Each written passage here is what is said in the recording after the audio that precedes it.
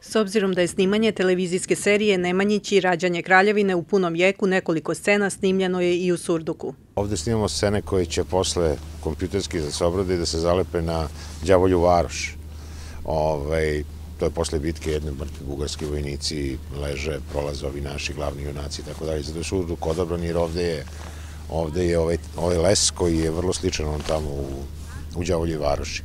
Snimljena je najpre scena koja opisuje povratak monaha Save sa moštima svoga oca Simeona u cilju pomirenja braće Stefana i Vukana koji su zaratili oko vlasti, a zatim je usledilo snimanje i ostalih scena. Imamo jednu zanimljivu scenu prolaska normanskih vitezova na putu za Jerusalim, odnosno dole prema jugu i to je isto složena scena u smislu multiplikacija, radit će se masa tih vitezova, mi zapravo radimo sa 20 konjanika, ali eto tim savremenim tehnologijama činimo scenu impresivniju.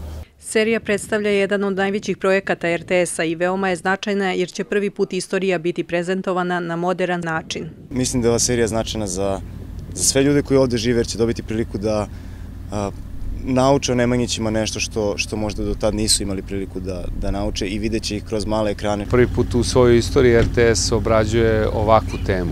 Prvi put se inače kod nas obrađuje tema Nemanjića, što je i velika odgovornost i mislim da, da, da nisu svi bili spremni da se upuste u, u takvu vrstu priče.